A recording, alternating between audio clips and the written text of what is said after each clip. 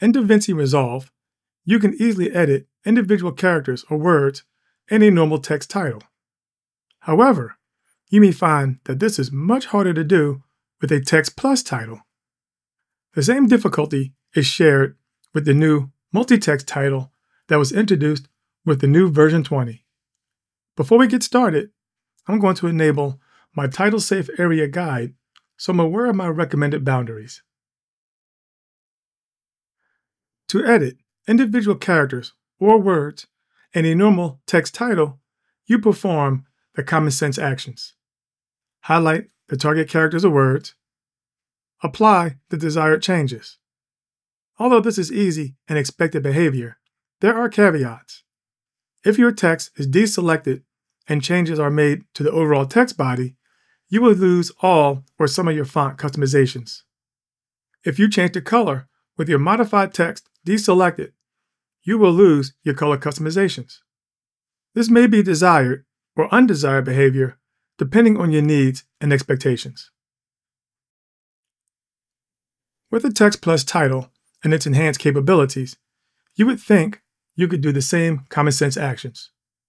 Highlight your target characters or text and apply desired changes.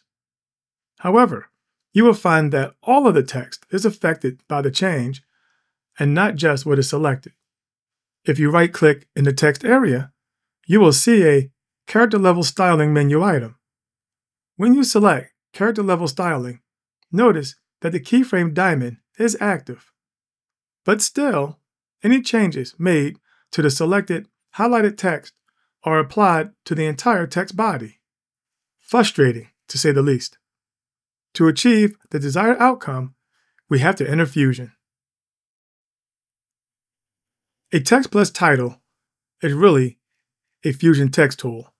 Therefore, it somewhat makes sense that we have to use Fusion to make the desired changes.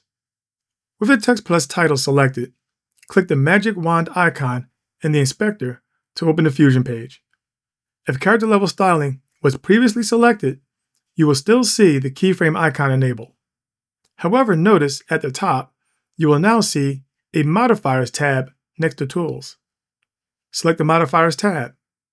In the Viewer window, select your target text.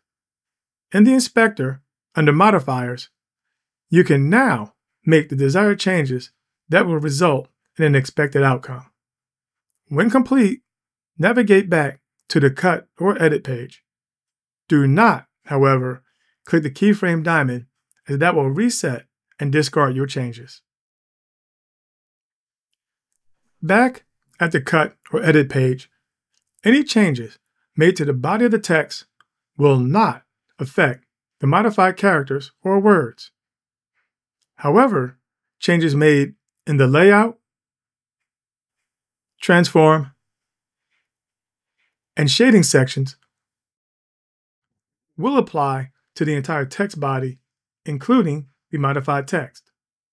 Likewise, any changes made under the Text Plus Settings tab will affect the entire text body.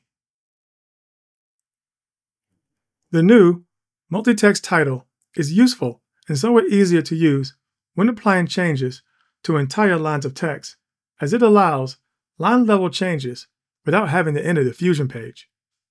But if changes are necessary for specific characters or words within a line, then the same applies into the Fusion page.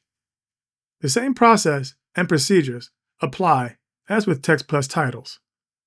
However, you must ensure the correct line is selected as each has its own modifier settings independent of the others. When complete, navigate back to the Cut or Edit page. Maybe in a later version, Blackmagic Design will make character level editing using the Text Plus and multi-text titles a little more intuitive.